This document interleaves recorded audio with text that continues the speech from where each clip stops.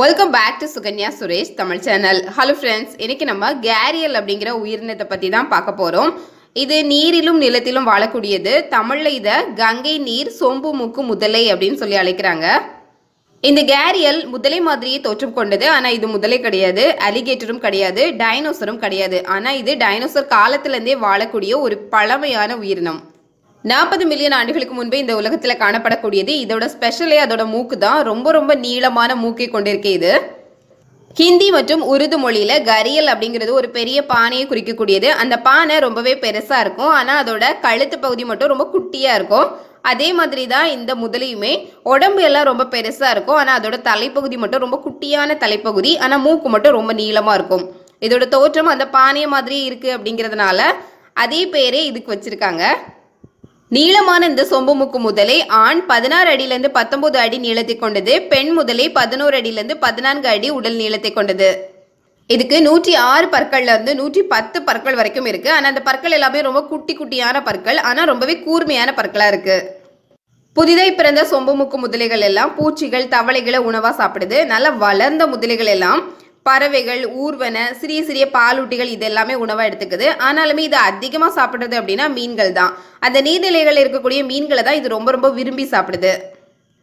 இந்த சொம்பு மூக்கு முதலினால மனிதர்களுக்கு எந்த விதமான ஆபத்துமே கிடையாது. காரணம் இதோட வாயோட அமைப்பே ரொம்ப ஊசி மாதிரி கூர்மையாக இருக்கிறதுனால இதால் சிறிய விலங்குகளை மட்டும்தான் வேட்டையாட முடியும். மீன்கள் சிறிய பாலூட்டிகளை மட்டும்தான் இதால் வேட்டையாடவே முடியும். பெரிய விலங்குகளுக்கு இதால் எந்த விதமான ஆபத்தையும் ஏற்படுத்தவே முடியாது. இதால் வேட்டையாட முடியாது. காரணம் அதோட வாயோட அமைப்பு அந்த மாதிரி ரொம்ப குட்டியாக குறுகி போய் இருக்கிறதுனால பெரிய விலங்குகளை இதால் வேட்டையாட முடியாது. இது தவிர இதோட உடம்புல ரொம்பவே பலகீனமான பகுதி அப்படின்னா அதோட கால்கள் தான். அந்த கால்கள் வந்து ரொம்ப வலுவானதாக இல்லை வலுவிழந்து காணப்படுது. இந்த உயிரினங்களால அதோட வயிற்று பகுதியே அதால தூக்க முடியாது. தன்னோட உடம்ப தானாலே தூக்க முடியாது. அதாவது நான்கு கால்களால அதால நிற்கவே முடியாது. அந்த வயிற்று பகுதி எப்போதும் தரையோட தரையா தான் இருக்கு. ஆனால் அலிகேட்டரும் முதலைகளும் அந்த மாதிரி கிடையாது. அலிகேட்டர் ரொம்ப வேக வேகமாக ஓடக்கூடியது. அதே மாதிரி தான் முதலைகளும் துரத்தக்கூடியது. ரொம்ப வேகமாக துரத்தி வரக்கூடிய தன்மை கொண்டது. ஆனால் இந்த சொம்பு மூக்கு முதலையை பொறுத்த வரைக்கும் அது வந்து தரையிலே தவழ்ந்து தவழ்ந்து போகிற ஒரு நிலமையில தான் இருக்குது காரணம் அதோட கால்கள் அவ்வளோ வலிமையானதா இல்லை. இந்த முதலைகள் தங்களோட பத்தாவது வயதுல பருவ வயதை அடைகிறது. இதோட தாயகம் அப்படின்னா தென்கிழக்கு ஆசிய பகுதிகள் தான். ஆனா இது பாகிஸ்தான்ல இருந்து மியான்மர் வரையுள்ள பகுதிகளில் அதிகமாக காணப்படுது. இந்த சொம்பு மூக்கு முதலைகளே நிறைய கலர்ஸ் இருக்கு. Grey colour green colour black colour அப்படின்னு விதவிதமான கலர்ஸ்ல கூட இது இருக்கு. இது கங்கை நீர்நிலைகள்ல அதிகமாக காணப்படுது. இதனால இதுக்கு கங்கை நீர் முதலை அப்படிங்கிற பேர் கூட இருக்கு. இது அந்த நீர்நிலை பகுதிகளிலே வரக்கூடிய பிணங்களை வந்து அதிகமாக சாப்பிடுது. மனிதனை தான் இதெல்லாம் சாப்பிட முடியாது. ஆனா உயிரே இல்லாத சடலங்களை இதெல்லாம் சாப்பிட முடியுது. இது தவிர ஆற்று பகுதிகளிலும் இது அதிகமாக காணப்படுது. ஆற்று பகுதிகளில் இரவு நேரங்களில் மட்டும் தரையில் வந்து அதாவது கரையோரங்களில் வந்து நல்ல ஓய்வெடுக்கக்கூடியது பகல் நேரங்களில் ஃபுல்லாகவே அந்த தண்ணிக்குள்ளே நேரத்தை செலவழிக்கக்கூடியது. இதோட வாழ்நாள் நாற்பது வருடங்கள்லேருந்து அறுபது வருடங்கள் வரைக்கும் இருக்கு. இது முட்டையிடுறது எல்லாமே அந்த ஆற்று கரையோரங்களில் இருக்கிற மணல் பகுதியை நல்லா தோண்டி எடுத்து அதுக்குள்ளே முட்டையிட்டு அதை பாதுகாக்கக்கூடியது.